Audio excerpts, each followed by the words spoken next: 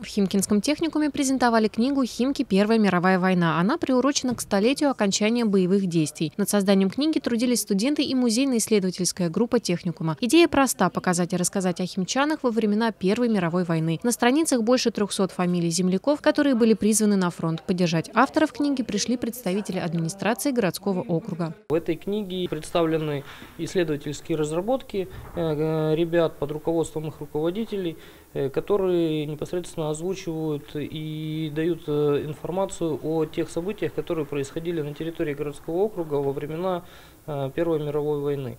Потому что в данном случае часть истории города в этой степени она не настолько хорошо изучена, как хотелось бы. Важно э, не потерять историю, сохранить ее и самое главное еще грамотно преподнести нашим последовательным детям, которые потом смогут ознакомиться с этим и запомнить те важные элементы истории, которые, ну, на которые вообще строилось развитие нашей страны.